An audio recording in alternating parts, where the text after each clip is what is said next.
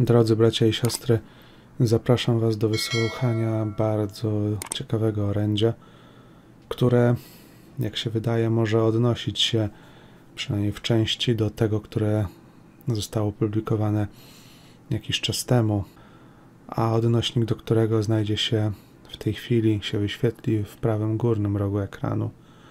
Tekst zawarty w ramach tego orędzia, które zaraz wysłuchacie, odnosi się bowiem między innymi do tego, że pewna korona potoczy się po ziemi w takim, jak się wydaje, kontekście, że na jakiegoś przywódcę może się wkrótce dokonać zamach.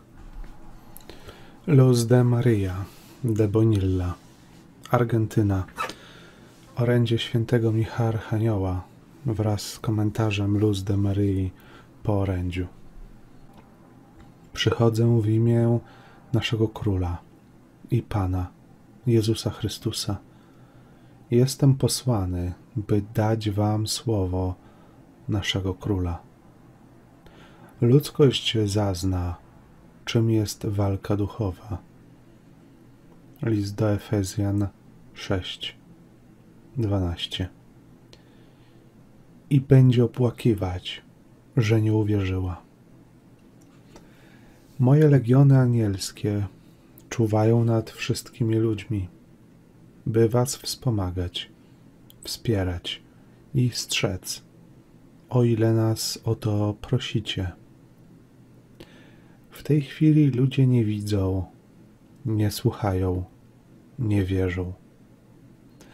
Wasz umysł jest zajęty przez to, co światowe, a serce uzurpowały sobie bożki fanatyzmy, a na pierwszym miejscu pełne pychy ego, jakie posiadacie. Nie miłujecie życia, świętego daru Bożego dla ludzkości. Wielu kolejnych i kolejnych ludzi będzie się zdumiewać wobec ciągłych fenomenów atmosferycznych, które będą się zwiększać na całej Ziemi niedźwiedź, Rosja. Budzi się dziki i wściekły, nieoczekiwanie dla reszty ludzkości.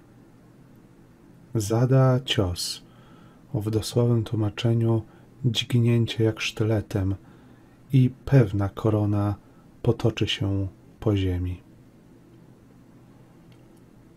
Ludzkość otrzymuje kolejne i kolejne znaki – i nie zwracając na nie uwagi, dalej się oddaje swoim przyjemnościom, aż niebo spuści deszcz ognia i wówczas ludzkość zrozumie, że ostrzeżenia nie były próżne.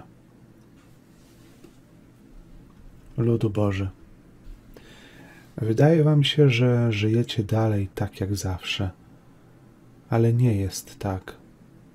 Przygotujcie się będzie się tego od was żądać znowu i znowu, aż do przesytu. Jeźdźcy Apokalipsy, Księga Apokalipsy 6, 2, 8, przecinają niebo i huk słychać po całej ziemi. Ludzie nie widzą, co to jest, ale słuchają ich, nie wiedząc, skąd pochodzi dźwięk trąb.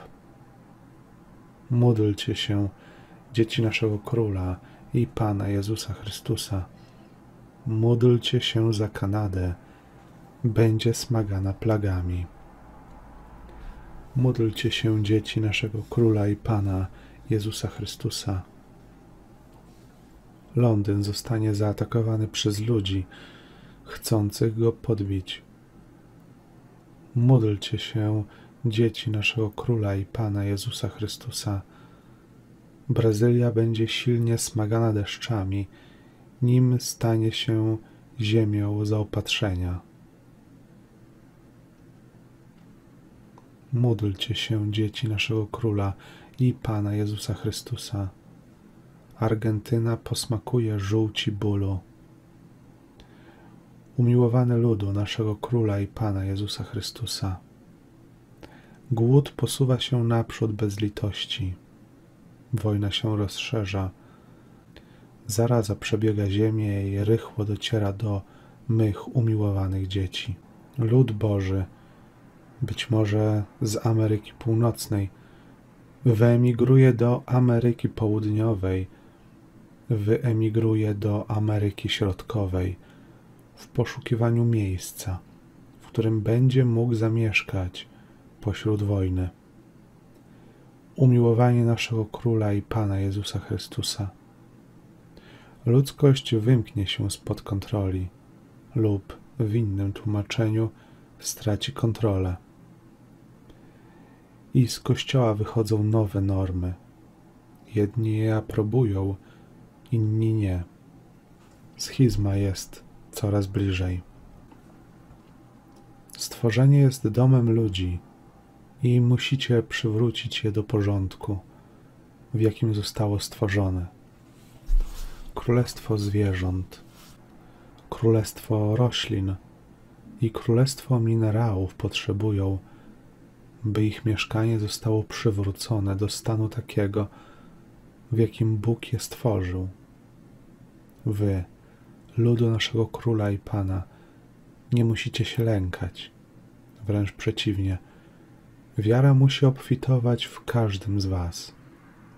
Moje legiony niebieskie przyjdą wam z pomocą. Jesteście dziećmi Stwórcy nieba i ziemi. Nie zapominajcie o tym. Wzywajcie naszą królową i matkę słowami: Witaj, najczystsza Maryjo, bez grzechu poczęta. Miejcie w domu poświęconą palmę, na przykład taką z niedzieli palmowej. Nie zapominajcie o tym. Błogosławię Was z moimi legionami niebieskimi. Święty Michał Archanioł. Witaj, najczystsza Maryjo, bez grzechu poczęta. Witaj, najczystsza Maryjo, bez grzechu poczęta. Witaj, najczystsza Maryjo, bez grzechu poczęta. Komentarz Luz de Maryi. Bracia, nasza wiara utrzymuje się w ciągłym wzroście i to leży w odpowiedzialności każdego z nas. Ale strach przed tym, co ma nadejść, nie może przewyższać naszej wiary w moc Boga dla ochrony Jego ludu. Zostaniemy oczyszczeni i mamy to ofiarować Bożej woli. Święty Michał Archanioł ukazuje nam trzy rzeczywistości. Pierwszy scenariusz to głód, który posuwa się naprzód, to znaczy rozciąga się po całej ziemi.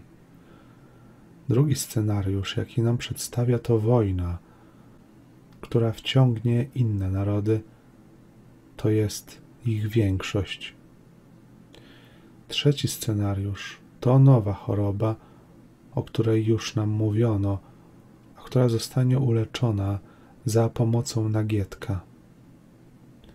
Święty Michał Archanioł wzywa nas jako ludzkość, żebyśmy wiedzieli, że tygiel oczyszczenia nie przychodzi tylko na niektórych. Nie. Tak jak słońce świeci na grzeszników i niegrzeszników, tak również ludzkość zostanie oczyszczona.